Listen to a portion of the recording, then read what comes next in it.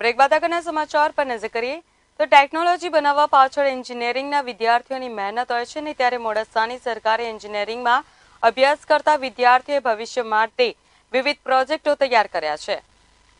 મોડાસા સરકારી engineering college ખાતે ટેકનોથોન બે હજાર ઓગણીસનું આયોજન કરવામાં આવ્યું હતું, જેમાં વિદ્યાર્થીઓએ વિવિધ પ્રોજેક્ટ રજૂ કર્યા હતા. પાછલા ચાર વર્ષથી ઉજવાતા પ્રોજેક્ટ એક્સપોમાં છેલ્લા વર્ષમાં અભ્યાસ કરતા વિદ્યાર્થીઓએ તૈયાર કર્યા હતા.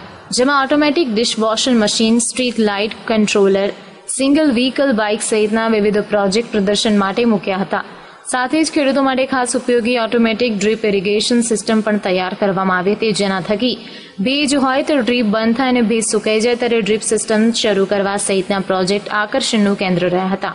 આઠ સેમેસ્ટરના વિદ્યાર્થીઓના કુલ બત્રીસ તેમજ છઠ્ઠા સેમેસ્ટરના છ જેટલા પ્રોજેક્ટ ડિસ્પ્લે કરવામાં આવ્યા હતા. વિદ્યાર્થીઓ તૈયાર કરેલા તમામ પ્રોજેક્ટ દરેક વ્યક્તિ, કંપની તેમજ લોકોની સુખાકારી માટે હોવાનું વિદ્યાર્થીઓએ જણાવ્યું હતું. આ પ્રોજેક્ટ તૈયાર કરવા માટે વિદ્યાર્થીઓને આખા વર્ષના અથાગ પરિશ્રમનું પરિણામ હતું. અમારી કોલેજમાં છેલ્લા ચાર વર્ષથી સતત આ ટેકનોથોન ઉજવવામાં આવે છે, જેમાં છેલ્લા વર્ષના જે વિદ્યાર્થીઓ હોય, એ લોકો પોતાનો પ્રોજેક્ટ એક્સપો રાખે. જેમાં વિવિધ અલગ અલગ પ્રોજેક્ટ હોય, જેમ કે automatic dishwasher, portable solar inverter, gesture control arm street light control પછી સિંગલ સિંગલ વ્હીલ બાઇક એ ટાઈપના અલગ અલગ પ્રોજેક્ટ છે.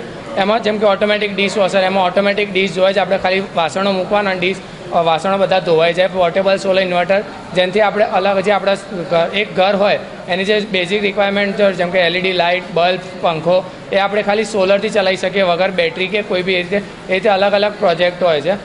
છોકરાઓને પ્રોત્સાહન વિદ્યાર્થીઓને પ્રોત્સાહન કરવા માટે ત્રણ ઇનામ પણ રાખેલા છે. પહેલો, બીજો, ત્રીજો પ્રાઇઝ છે. પહેલા વિજેતાને બે હજાર રૂપિયા, બીજા વિજેતાને પંદરસો, ત્રીજા વિદ્યાર્થીને હજાર રૂપિયા એ રીતે અલગ અલગ ઇનામ રાખવામાં આવ્યા છે. હું સેમેસ્ટર આઠમાં અભ્યાસ કરી રહી છું અને દરેક જે પાછલા ચાર વર્ષથી ચાલી રહ્યું છે, એમ આ વર્ષે પણ ટેકનોથોનનું આયોજન કરવામાં આવ્યું છે.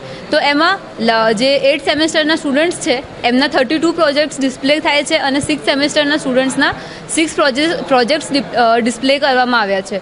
તો આની વિશેષતા એમ છે કે જે વિદ્યાર્થીઓ પ્રોજેક્ટ બનાવ્યા છે, સમાજની દરેક ક્ષેત્રે ઉપયોગી છે. કારણ કે એવો પ્રોજેક્ટ બી છે જે ખેતી કામ માટે ઉપયોગમાં આવી શકે. ક્યાંક એવા પ્રોજેક્ટ છે, જેમ કે હાર્મોનિક ફિલ્ટર્સ છે, એ એવા પ્રોજેક્ટ છે, ઇન્ડક્શન મોટર મોટરના પ્રોટેક્શન માટેના જે પ્રોજેક્ટ છે, એ ઇન્ડસ્ટ્રીયલ લેવલે કામ આવી શકે છે. તો આમ સમાજના દરેક ક્ષેત્રને ઉપયોગી થઈ શકે અને વિદ્યાર્થીઓ પોતાનું પ્રેક્ટિકલ નોલેજ ડિસ્પ્લે કરી શકે, એ માટે આનું આયોજન કરવામાં આવ્યું છે અને પ્રોત્સાહન માટે ઇનામો પણ આપવામાં આવે છે. સંજય શર્મા સાથે લાઈવ ગુજરાત ન્યૂઝ અરવલ્લી.